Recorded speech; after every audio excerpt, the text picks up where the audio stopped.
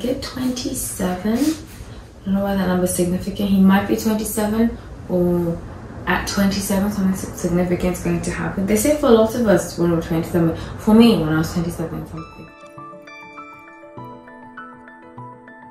Welcome back to Light Tarot. This is a channel about hot topics through a tarot perspective. So it is uh, I'm usually accurate, doesn't mean I'm accurate here. So um, it's not about negative gossip, it's not true or false, this is intuitive based, it's not fact based.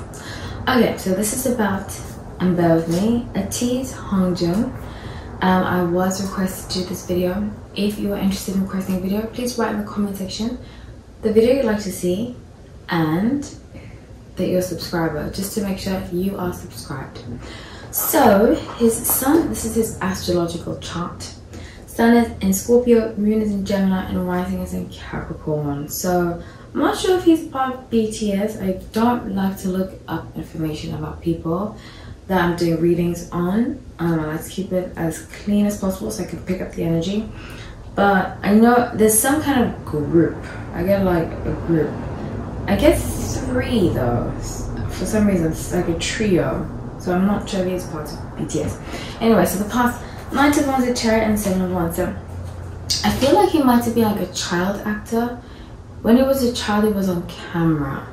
And then he decided to shift gear into something else, like modeling, I get branding, perhaps singing, yes, but I get like uh, promotions, lots of promotions. So with the present being Five Pentacles, Six of Swords, and Five Wands. So right now, he's in the process of changing his career. I think into acting, something that is different from the past. Not so different, but requires a lot of attention, which he's not good at giving. Um, I get the people around him that want to take advantage of him, and he's not having it. He's not having it. So the future being Queen of Swords, Knight of Pentacles, and Ace of Cups. He's going to have to learn to open up a lot. Page of Swords has a lot of lessons to learn. Um, I get 27. I don't know why that number is significant. He might be 27 or at 27 something significant is going to happen. They say for a lot of us when we're 27. For me, when I was 27, something very significant happened in my life. Um, and I see it with a lot of people in public eye. That's why I do these readings actually, so that we can use them as examples. So Six of Wands, Ace of Cups, and Ten of Swords. Okay, so he is going to have to be more open to people.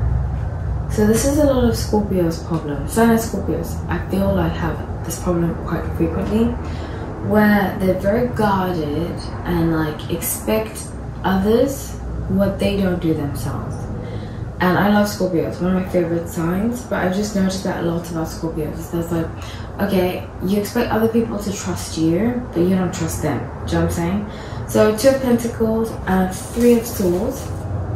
I see a lot of issues with people that he is working with. It's like a group setting. The group setting, he's like, having issues with other people. They're not really getting along, and he's like projecting his issues onto other people and not taking accountability. Kind of feeling like the victim. Okay, so I see him leaving this group, whatever it is, leaving it, Knight of Pentacles, Queen of Swords, actually planning on doing it very soon, the next year. So by the end of 2022, beginning of 2023, he will have left this group that he's in King of Swords, and the strategy is to do something solo, to be alone. Do things more alone. So hope that um I hope that was helpful to some people.